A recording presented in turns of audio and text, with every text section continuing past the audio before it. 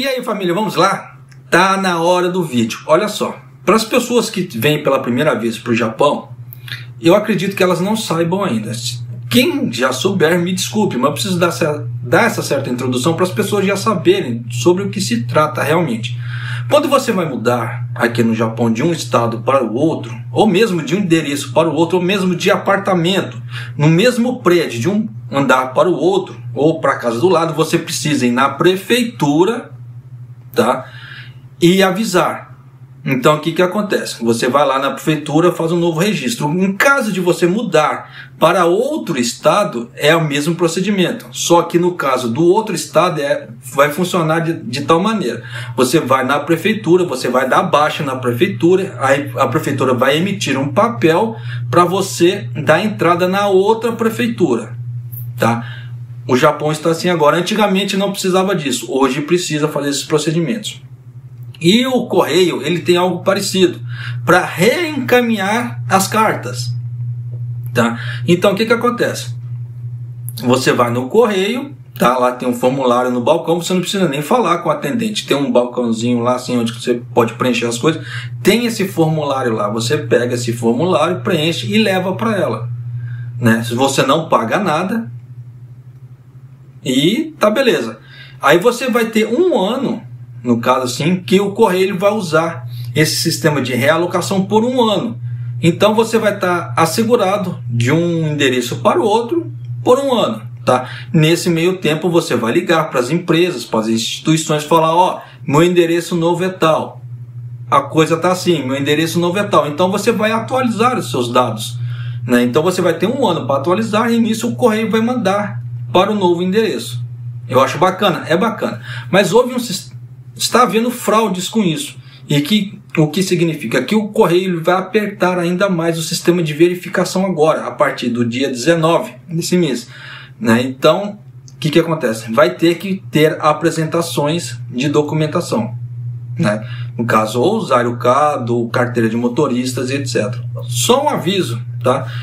No caso de renovação dá conta do correio, que de tempos em tempos eles pedem para fazer recadastramento, a carteira de motorista não serve.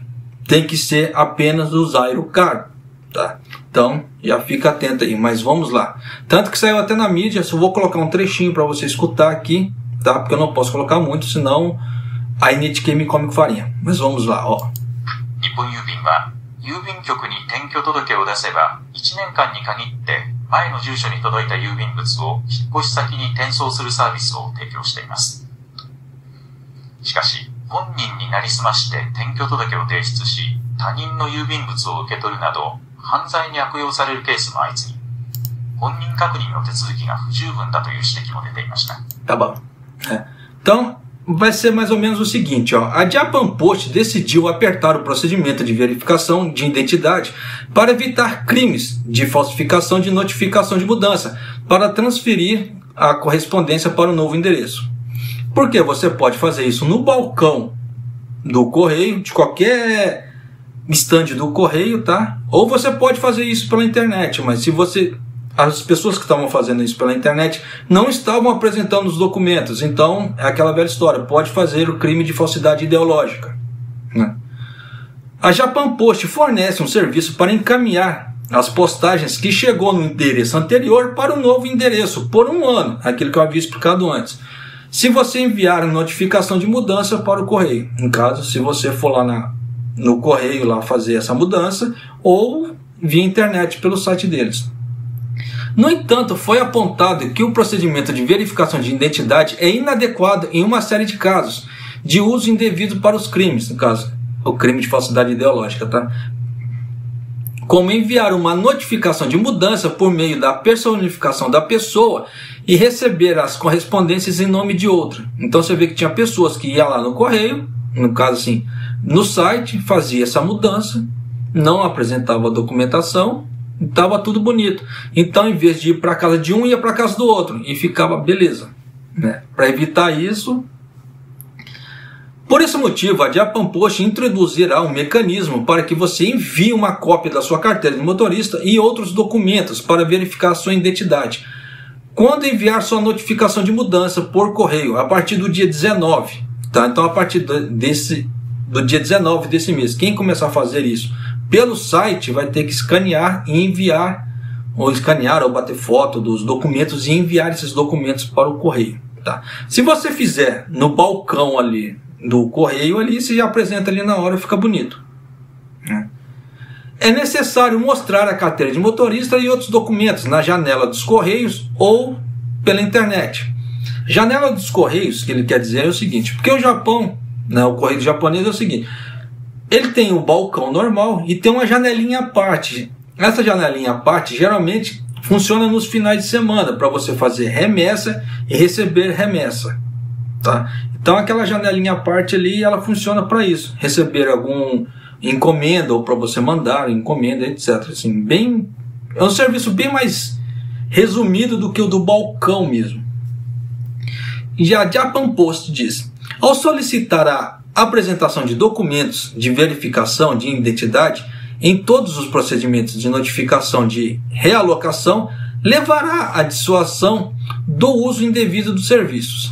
Então eles querem coibir a prática das pessoas de ficarem, no caso, entra na internet, coloca lá, ah, meu nome é fulano de tal, tal, pega os dados da pessoa, coloca ali e meu endereço é tal. E a pessoa foi para outro canto. E nessa brincadeira toda, a outra pessoa pode estar recebendo ah, as postagens e etc. Então tá o velho crime de falsidade ideológica ali. Então o Japão, no caso assim, o correio japonês, para poder parar com isso, vai ter esse procedimento agora. Então já estou postando isso para quê? Primeiro, para alertar as pessoas que estão vindo do Brasil para cá que existe esse procedimento de realocação de endereços tá, na prefeitura e no correio.